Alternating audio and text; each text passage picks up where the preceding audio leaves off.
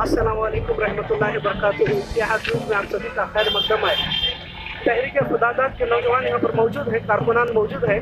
उनका मुतालबा है कि जो गरीबों को हुकूमत की जानब से जो मकाना दिए जाते हैं, वो अब तक किसी को फराम नहीं हो रहे। उनका मुतालबा है कि कई सारे लोग, सैकड़ों लोग हुकूमत की जानब से जो स्कीमें जो मुहैया कराई जाती हैं, वो हम तक पहुँचती नहीं है। किराए के मकान में रहते रहते ज़िंदगी गुजर जा रही है, लेकिन उन्हें अपना ज़ाती मकान हासिल नहीं हो रहा। तहरीक फदादा के सदर यहाँ पर मौजूद है। हम उनसे पूछते हैं कि उनका आखिर मुतालबा क्या है।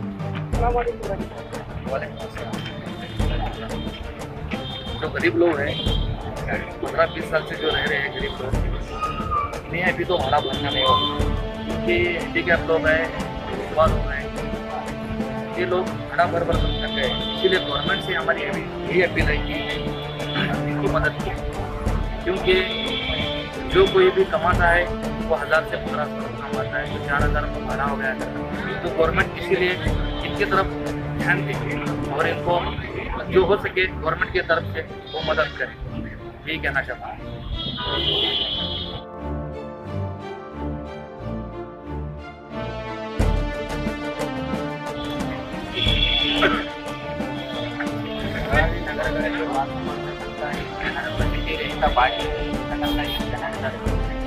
ಸುಮಾರು ಒಂದು ಹದಿನೈದರಿಂದ ಇಪ್ಪತ್ತು ವರ್ಷಗಳ ಮೇಲ್ಪಟ್ಟು ಬಾಡಿಗೆಯನ್ನು ತುಂಬುತ್ತಾ ಬಂದಿದ್ದಾರೆ. ದಿನ ಏನೋ ಒಂದು ಸಾವಿರ ಹದಿನೈದು ನೂರು ರೂಪಾಯಿ ಬಾಡಿಗೆ ಇತ್ತು. ಈ ದಾಟಿ ಈಗ ಮೂರು ಸಾವಿರದಿಂದ ನಾಲ್ಕು ಸಾವಿರದ ಮಟ್ಟ ಬಾಡಿಗೆಗಳು ಹೆಚ್ಚಾಗಿದೆ ಇದರಿಂದವಾಗಿ ಜನರಿಗೆ ಬಾಡಿಗೆ ತುಂಬೋದು ಮತ್ತು ಮನೆ ನಡೆಸಲು ಮಕ್ಕಳ ಎಜುಕೇಷನ್ ಮಾಡಿಸಲು ತುಂಬ ತೊಂದರೆಗಳನ್ನಾಗ್ತಾ ಇದೆ ಹೀಗಾಗಿ ಸರ್ಕಾರ ಈ ಕೂಡಲೇ ಇದನ್ನು ಜನಗಳ ಮೇಲೆ ಅಭಿಮಾನದಿಂದ ಅವ್ರ ಕಷ್ಟಗಳಲ್ಲಿ ಭಾಗವಹಿಸಿ ನಮ್ಮ ಕಾಂಗ್ರೆಸ್ ಸರ್ಕಾರದವರು ಕೂಡಲೇ ಇದನ್ನು ಮೇಲೆ ಸ್ವಲ್ಪ ಜನಗಳಿಗೆ ಮನೆಗಳನ್ನು ಕಲ್ಪಿಸ್ಕೊಡ್ಬೇಕಂತ